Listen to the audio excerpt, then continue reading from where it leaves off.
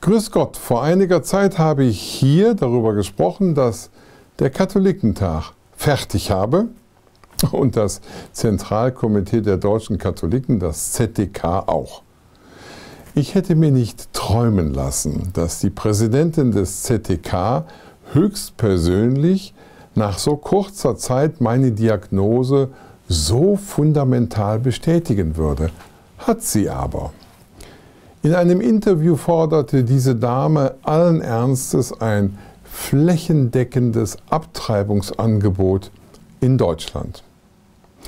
Und ganz auf der Spur der grün-roten Anti-Lebensideologie fügte sie noch hinzu, dass Abtreibungen, so wie man das macht, selbstverständlich zum Medizinstudium gehören müssten.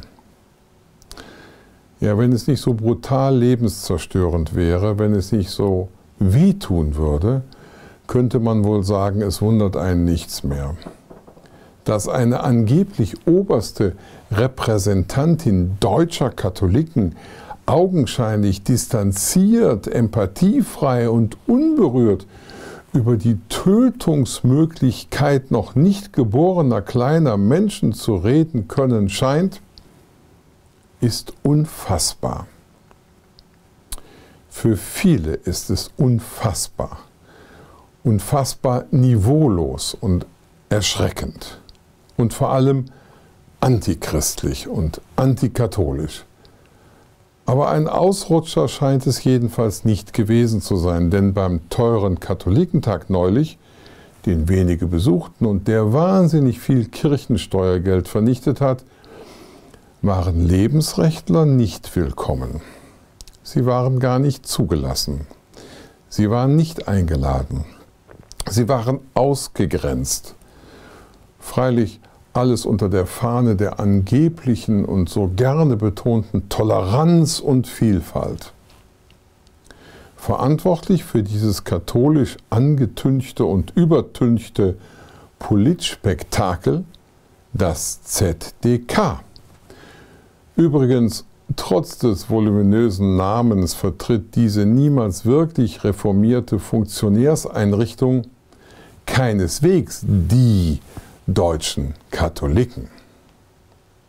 Das ZTK, das wie gesagt nie wirklich reformiert wurde und es schon lange gibt, das ZTK ist schon lange aus der Zeit gefallen was seine Oberfunktionäre allerdings mit lauten und völlig angepassten Kotaus vor dem antichristlichen Zeitgeist immer wieder überwölben, übertünchen, verdecken und verstecken wollen. Die Präsidentin des ZDK, das hat sie nun selbst bewiesen, und das meine, meine nicht nur ich, sondern das sehen viele andere auch so, hat eher nichts mit katholisch zu tun, und sollte schleunigst von ihrem offenbar trotz demokratischer Wahl gekaperten Posten zurücktreten.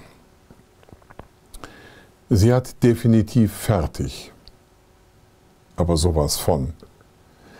Bleibt sie hingegen und wird von ihrem Funktionärsgremium gestützt statt gestürzt, bekommt sie also Rückendeckung für ihre Anti-Pro-Life-Position, dann ist es so sicher wie einst das Amen in der Kirche, das ZTK, das komplette ZTK hat fertig. Aber sowas von. Schade eigentlich. Aber für wirklich Katholisches sollte der Missbrauch des Namens Zentralkomitee der deutschen Katholiken beendet werden. Ein ZDK als Zentralkomitee der Kotau-Experten ZDK DK braucht wirklich niemand. Ihr Martin Lohmann.